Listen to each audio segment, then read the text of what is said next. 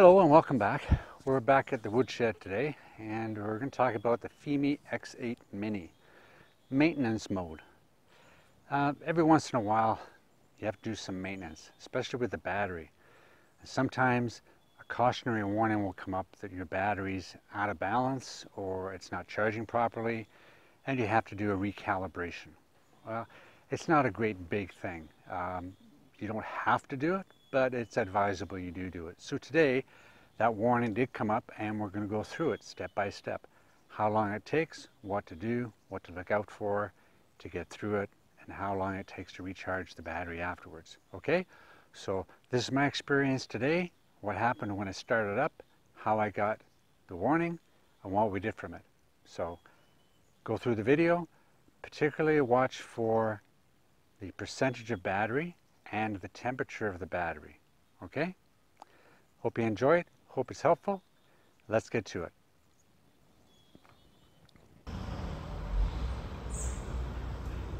Yeah, it was kind of an odd thing today. I wasn't expecting it, but uh, I was just going to go for a flight. But I just went through my normal process and went through my checklists and found that everything was correct. When I went to the battery, I came up with this this little warning uh, to update my battery. It's also known as the recalibration. Um, maybe the cells aren't balanced properly or whatever and FIMI tells you to bring it down to zero and then charge it fully back up again. So that's what we're going to do today. I've got 21 cycles on the battery so let's go through this and see what happens.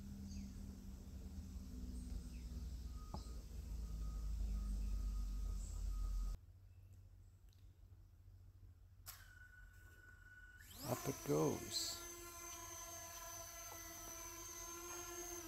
Now I'm not going to bore you with all 15 minutes or so of flight, but um, let's fast forward all this and uh, get to the end. Watch the battery, watch how many times that uh, connectivity sign goes in and out and all of this. See it goes in and out all the time there? We're trying to get down to about 15% so we can let it sit. And that's the danger in letting it sit. Uh, is it going to overheat?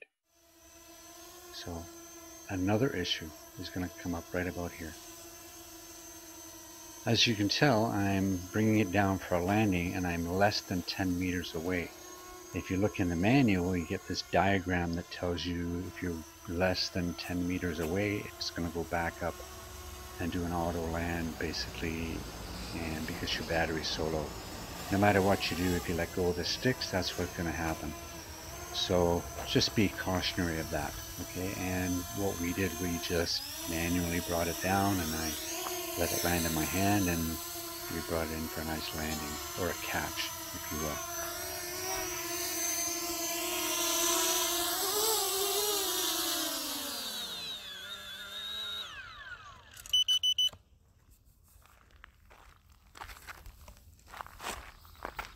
So you'll notice we started bringing it down about 15% and by the time we did get it down it was 12%. Uh, that's okay. Anything between 10 and 15% is fine because it does take a long time to get it down to zero. Okay.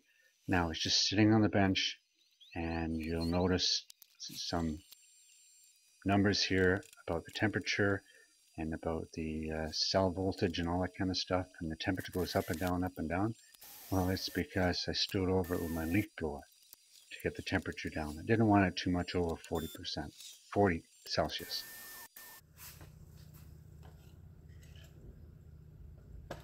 At 0%, it automatically turns off.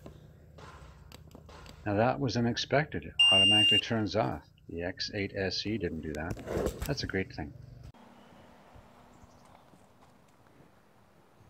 Okay, so that's it what did we learn?